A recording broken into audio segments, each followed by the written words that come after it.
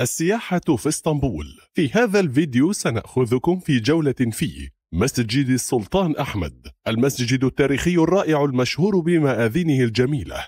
دولما باجة القصر المدهش مع حديقته المليئة بالأشجار والنافورات. تل العرائس. صاحب أجمل إطلالة على مضيق البوسفور. جزر الأميرات. مجموعة من الجزر الساحرة في بحر مرمرة. جولات البوسفور فرصة لاستكشاف معالم اسطنبول من داخل البحر. شارع الاستقلال. أشهر شوارع اسطنبول حيث المتاجر الراقية والمطاعم والمقاهي. برج غلطة. برج تاريخي يوفر إطلالات مذهلة على اسطنبول. في الجزء الثاني من الفيديو سنتعرف على أهم المعلومات مثل التكاليف الفنادق المطاعم الطقس الأسواق والمواصلات. وأحد عشر سؤال وجواب لتخطط لرحلة سعيدة. أولا جولة في أجمل الوجهات مسجد آيا صوفيا. تحفة معمارية تعبر عن عظمة الحضارات التي مرت من هذه المدينة عبر العصور. تميزه قبته الضخمة التي تعتبر إنجازا هندسيا مبهرا لعصره. والفسيفساء البيزنطية الرائعة التي تزين جدرانه وتعكس جمال الفن البيزنطي. السياح يأتون من كل حدب وصوب ليس فقط لمشاهدة العمارة الفريدة لآيا صوفيا ولكن أيضا للتأمل في التاريخ العميق الذي تحمله جدرانها.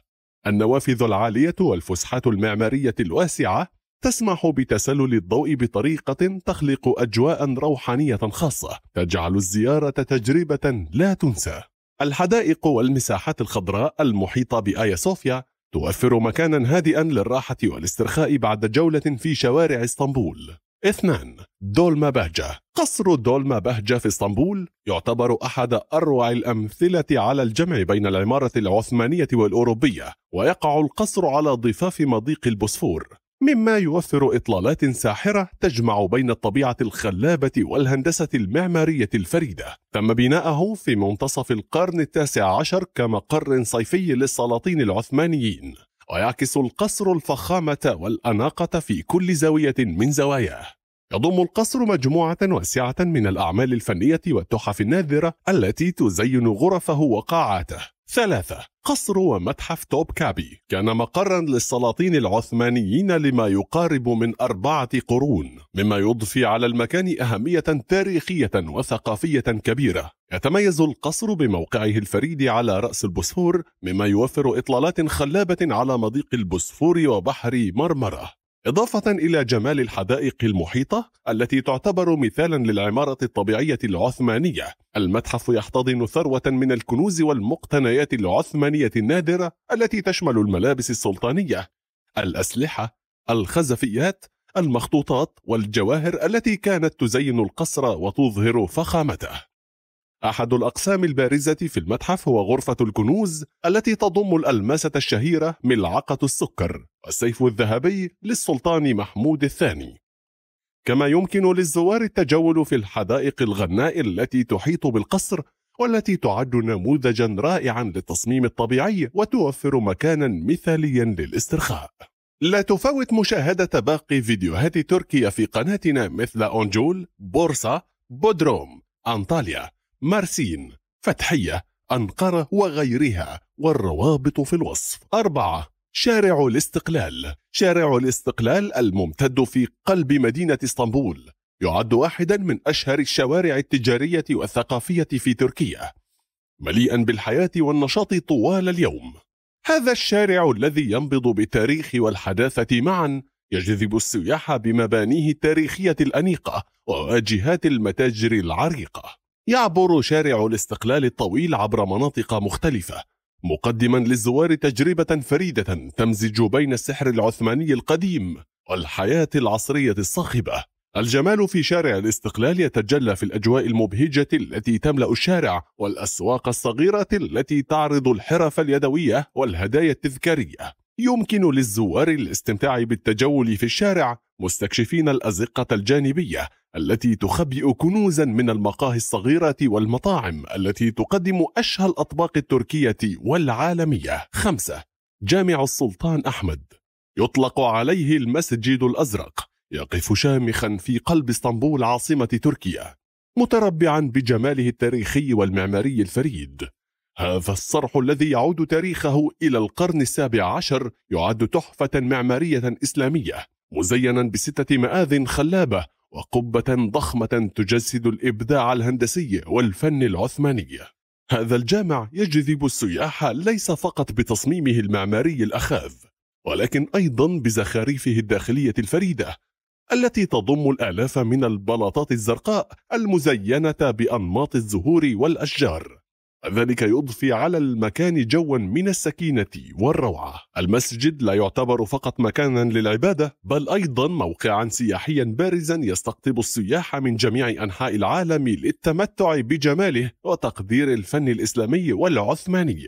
الحدائق المحيطة بالجامع تضيف إلى جمال المكان حيث توفر مساحة خضراء هادئة للزوار للاسترخاء والتأمل في جمال المعمار العثماني. السياح لديهم الفرصة للمشي في الأزقة التاريخية المحيطة واستكشاف الأسواق التقليدية مما يوفر تجربة ثقافية غنية وتعريفا بالحضارة العثمانية. ادعمنا بلايك إذا وجدت في الفيديو ما يفيدك. 6 جزيرة الأميرات مجموعة من الجزر الصغيرة الرائعة في بحر مرمرة قبالة سواحل مدينة اسطنبول التركية. تعتبر هذه الجزر وجهة مثالية للاسترخاء والهروب من صخب المدينة حيث تتميز بجمالها الطبيعي الخلاب وأجوائها الهادئة. يعد النقل البحري وسيلة الوصول الرئيسية إلى جزر الأميرات. وعند وصولك إلى الجزر ستجد نفسك تتجول في شوارعها الضيقة والمرصوفة بالحصى وستستمتع بالمناظر الخلابة للبحر والمنازل التقليدية الجميلة. تتميز الجزر بأجوائها الهادئة والمناظر الطبيعية الخلابة حيث يمكن للزوار الاستمتاع بالمشي على طول الشواطئ الرملية النقية والاسترخاء تحت أشجار الصنوبر الكثيفة. كما يمكنك استئجار دراجة هوائية لاستكشاف الجزر بطريقة ممتعة ومختلفة. لا تنسى زيارة البازارات المحلية والمحلات التقليدية لشراء الهدايا التذكارية وتذوق الأطعمة والحلويات التركية الشهية. سبعة برج غلاطة. يقع البرج في منطقة غلاطة القديمة بالقرب من البوسفور وهو جزء من المدينة القديمة التاريخية حيث يعود تاريخ بنائه إلى القرن الرابع عشر الميلادي خلال فترة حكم الإمبراطورية البيزنطية.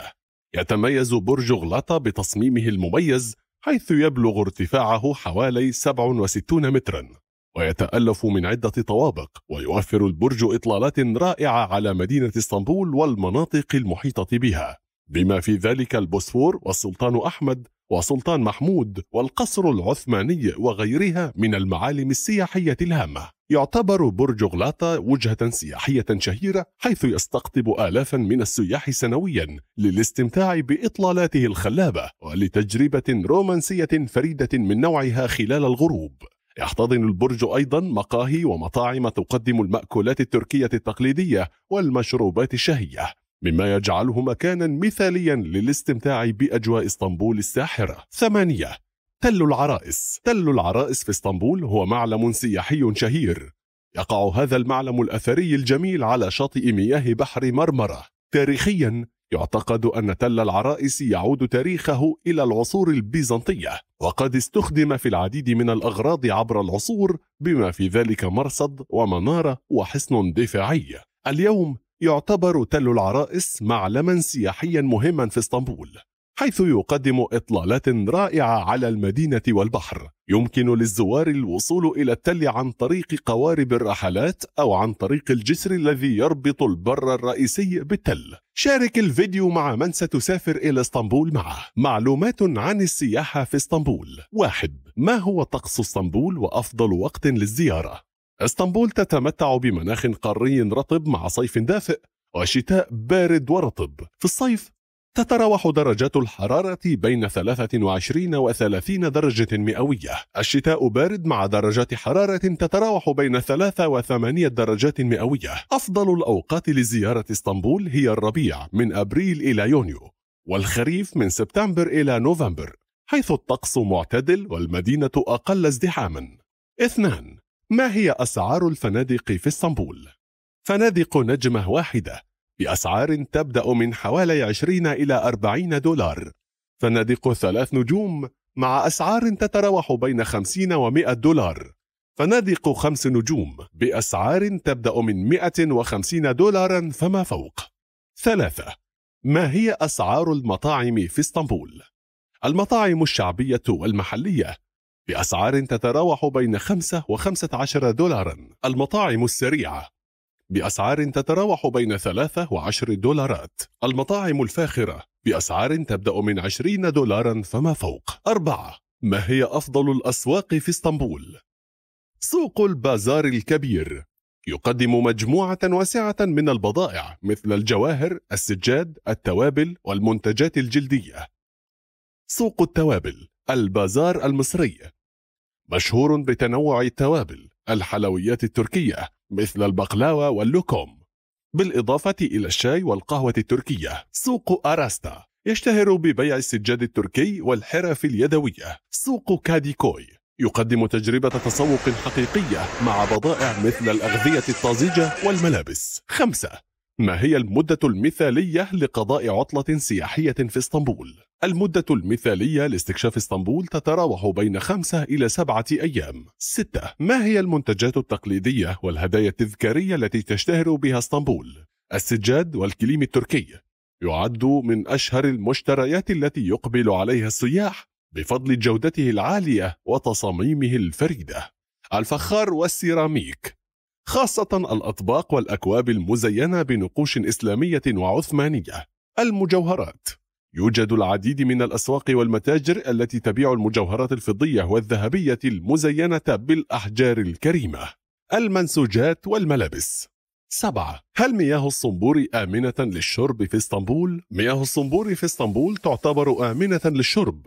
ولكن في بعض المناطق يكون طعم المياه أو رائحتها مختلفة بسبب المعادن والكلور المستخدم في التعقيم مما يجعل السياح يفضلون شراء المياه المعبأة. ثمانية. ما هو متوسط أسعار البقالة في إسطنبول؟ متوسط تكاليف البقالة الأسبوعية لشخص واحد يتراوح بين 20 إلى 50 دولار أمريكي. تسعة. ما هو متوسط سعر الطيران الداخلي من وإلى إسطنبول؟ إسطنبول تعتبر نقطة انطلاق رئيسية للرحلات الجوية الداخلية في تركيا. متوسط سعر تذكرة الطيران الداخلي يتراوح بين 30 إلى 100 دولار أمريكي. وذلك بناء على الوجهة ووقت الحجز. عشرة. هل إسطنبول مدينة آمنة للسياحة؟ إسطنبول تعتبر واحدة من المدن الآمنة للسياح. معدلات الجريمة فيها منخفضة جدا. وعبر قناتنا ستجدون فيديو عن أشهر طرق النصب. والرابط في الوصف. أحد عشر. ما هي وسائل المواصلات في إسطنبول وأسعارها؟ المترو والترام. تبدأ الأسعار من حوالي نصف دولار للرحلة الواحدة باستخدام بطاقة إسطنبول card. الحافلات تبدأ الأسعار من حوالي نصف دولار. العبارات أسعارها تبدأ من حوالي نصف دولار إلى دولار. لتوفير المال ينصح بشراء بطاقة إسطنبول card وشحنها بالمبلغ المطلوب للتنقلات المخطط لها خلال الإقامة. اشترك في القناة وفعل الجرس ليصلك كل جديد.